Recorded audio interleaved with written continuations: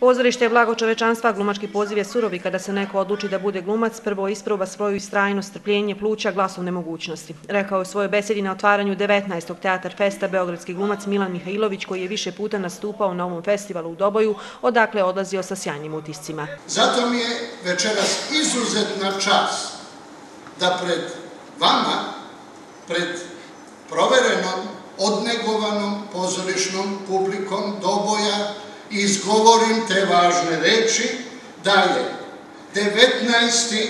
Teatar Fest Doboj 2018 otvoren Iz Dobojskog centra za kulturu su ponosni na ovu kulturnu manifestaciju koja ima tradiciju dugu skoro dvije decenije. Trude se da nastave putem koji su započeli oni koji su ovaj festival i osnovali.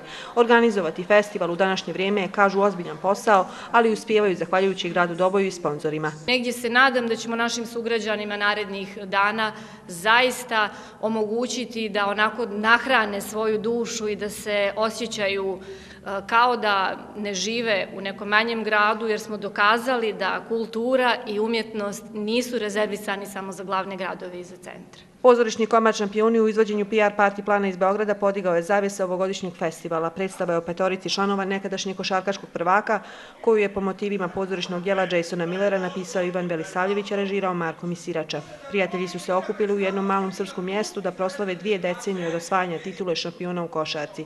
Uz piće i poneku doskočicu bude se lijepe uspomene, ali i gorke istene, neprimjereni potezi pa i varanja na takmičenjima i u životu prije 20 godina. U svako mjesto gdje odemo ljudi ljudi prosto prepoznaju, prepoznaju ovakve likove i svoje okoline i taj neki smeh je smeh taj odobravanja i prepoznavanja koji je u pozorištu, ja mislim, najznačajniji.